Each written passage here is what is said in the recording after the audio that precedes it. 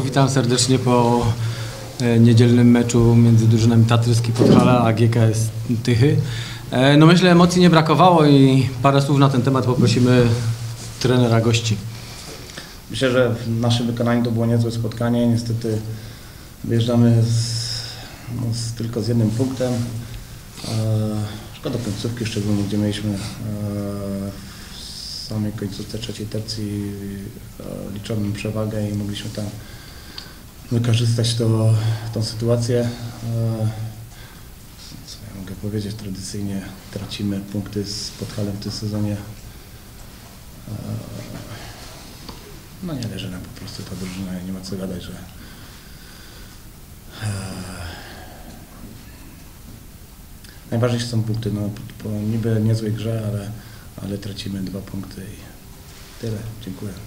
Marku, twój komentarz do dzisiejszego meczu? Mm, Mój komentarz, e, no co na pewno nastawialiśmy się na, na ciężki mecz, na ciężki mecz, na takie mecze czekają i, i, i kibice i zawodnicy, wiadomo, że, że był to fajny mecz w dobrym tempie, dużo strzałów, akcji, w niektórych momentach naprawdę pierwszą tercę zagraliśmy bardzo dobrze, e, przeważaliśmy tam bodajże ze statystyk 11 do 4 w strzałach, no myślę, że wracamy w powoli na, na, na dobre tory.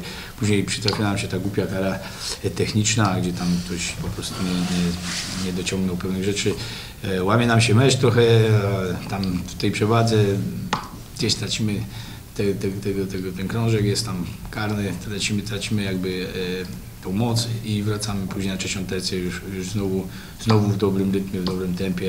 Cieszą punkty, dwie, dwa punkty, przepraszam, cieszą dwa punkty i, i, i to, że, że po prostu drużyna zaczyna fajnie grać. Dziękuję. Jakieś pytania panowie?